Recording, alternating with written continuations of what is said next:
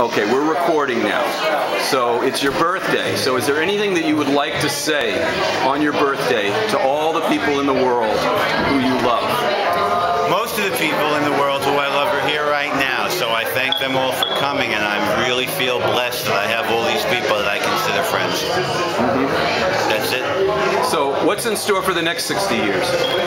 I'll tell you, I wish I knew, but I don't. The reason we have time is so things don't all happen simultaneously. So all I can do is trust the grace and hope that it keeps happening the way it has, because the first 60 have been great, and if the next 60 are anything like it, I'm totally blessed. Hmm. That's very nice. Okay, so if there was one thing that you could ask for in your life at this point in your life, what would it be? I wouldn't mind spending a little more private time with one special person that lives in Malibu that I know. Uh-huh. If I could get some extra time with him, his wife, that would be an amazing blessing for me. But in the meantime now, just the fact that I'm breathing every day, that's the blessing. That is wonderful. So we're gonna. We're, I'm running out of space on this thing, so I think I'm gonna stop this soon.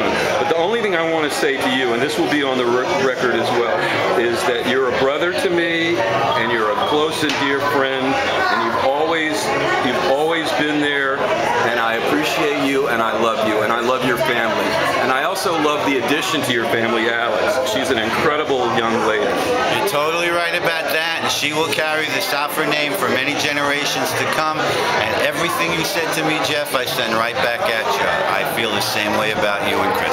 All right, peace, brother. Thank you. God bless.